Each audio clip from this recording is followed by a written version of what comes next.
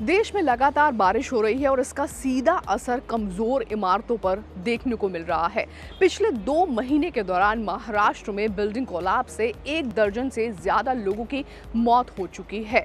रायगढ़ में हाल ही में बिल्डिंग कोलैप से कई लोग फंसे थे और साथ में मौत भी हुई थी। ये आलम सिर्फ़ महाराष्ट्र का नहीं है, बल्कि उत्तर प्रदेश से लेकर दिल्ली, गुड़गांव तक जर्जर इमारतों पर खतरा मंडरा रहा है। आज के शो में इसी पर बात करेंगे, क्योंकि गाजियाबाद में 102 बिल्डिंग्स को रहने के लिए अनसेफ बताया गया है।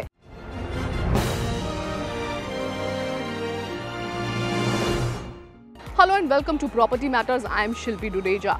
आज के शो में बात करेंगे कि कैसे अनसेफ बिल्डिंग्स में रहना आपके लिए खतरे से खाली नहीं है और साथ ही आप क्या कर सकते हैं अगर आपकी बिल्डिंग पूरी तरीके से वीक हो चुकी है? मुंबई में लगातार भारी बारिश से यहाँ कमज़ोर इमारतों के गिरने का खतरा हर पल बना हुआ है। साउथ मुंबई के फोर्ट इलाके में रेजिडेंशियल बिल्डिंग का एक पोर्शन गिरने से कई लोगों की मौत हो गई।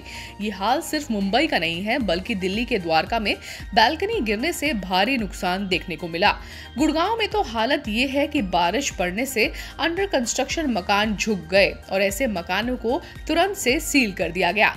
महाडा के रिपेयर एंड रिकंस्ट्रक्शन बोर्ड की एक रिपोर्ट के हिसाब से 1971 से 2018 साल के बीच में मुंबई में 3,528 बिल्डिंग्स कोलैप्स कर चुकी हैं और इससे 900 लोगों की मौत हुई है रिपोर्ट के मुताबिक हर साल मुंबई में 20 से 25 इमारतें गिरती हैं। इसी रिपोर्ट के हिसाब से मुंबई में 100 साल से पुरानी इमारतों की संख्या तकरीबन 16,000 है इसमें खास बात यह है कि महाडा हर साल बारिश का मौसम शुरू होने से पहले इन इमारतों का सर्वे करवाता है और खतरनाक हो चुकी इमारतों को खाली भी करवाया जाता है। लेकिन बावजूद इसके, मुंबई में जर्जर इमारतों का गिरना जारी रहता है। इस साल तकरीबन तीन हज़ार से ज़्यादा मकान यहाँ पर खाली करवाए गए हैं। गाजियाबाद में म्यूनिसिपल कॉरपोरेशन ने तो 102 इमारतों को रहने के लिए अनसेफ बता दिया है रिकॉर्ड के हिसाब से इस जोन में जर्जर होती इमारतों का हॉटस्पॉट वाल्मीकि कुंज है जहाँ 38 टूटी हुई इमारतों में से 26 इमारतें बी ब्लॉक में हैं। मोहन नगर में इकतीस मकान विजयनगर में 17, वसुंधरा जोन में 14 और कवि नगर में 24 से ज़्यादा बिल्डिंग्स अनसेफ हैं।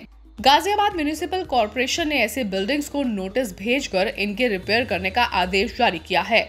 ऐसा नहीं होगा तो एडमिनिस्ट्रेशन इन बिल्डिंग्स को खाली करवा देगा और इसके लिए तीन हफ़्ते का टाइम दिया गया है। जीडीए ने तुलसी निकेतन को बसाया है और यहाँ बाईस सौ बानवे फ्लैट्स हैं, जो कि कई सालों से क्रैक्ड और अनसेव्ड है और जीडीए इसके रीडेवलपमेंट का प्लान भी बना रही है।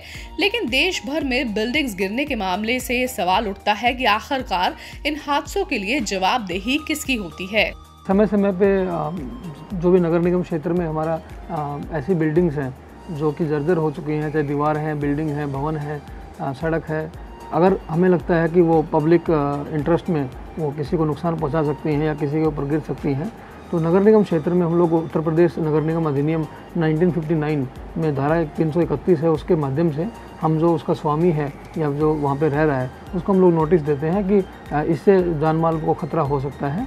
तो आप इसमें इसको मरम्मत करा सकते हैं या इसको ढा के नए सिरे से इसको दोबारा बना सकते हैं। तो समय समय पे हमारे पास नोटिस जब भी कोई संज्ञान में इस प्रकार का मामला आता है तो हमारे निर्माण विभाग के माध्यम से जो हमारे इंजीनियर्स हैं, उनके माध्यम से हम लोग उनको नोटिस भिजवाते हैं और अभी तक हंड्रेड से ऊपर हम लोग नोटिस दे चुके हैं। कोई एक दिन का नोटिस नहीं है ये समय समय पे अगर आज दो आए हैं तो आज दो मिलेंगे, तीन दिन बाद हो सकता है मैं दो और दे दूँ। तो ये ये कंटिन्यूस प्रोसेस है, कोई एक वन टाइम इवेंट नहीं है। अब आपको समझाते हैं कि बारिश या फिर वाटर सीपेज कितनी खतरनाक हो सकती है किसी भी बिल्डिंग के लिए। दरअसल ज़्यादातर पुरानी इमारतों में बिल्डिंग में मटेरियल और इंस्टॉलेशन और लैक ऑफ़ प्रॉपर मेंटेनेंस की वजह से ही दिक्कत आती है। और यही वजह है समय समय पर बिल्डिंग की मेंटेनेंस ज़रूरी हो जाती है। Continuous contact with the rain water leads to crack crack in the plaster, making the wall damp due to innocent water seepage. और अगर इसको नहीं रोका जाए तो आपके इंटीरियर तक ये पहुँच जाता है और इससे इमारत बेहद कमज़ोर हो सकती है। अब आप ये सोच रहे होंगे कि आखिरकार ऐसे में क्या किया जा सकता है? मेंटेनेंस के टाइम पे ध्यान दें कि फिलिंग अप ऑफ़ क्रैक्स होना चाहिए। क्रैक को समय समय पर सील करवाना बेहद ज़रूरी है।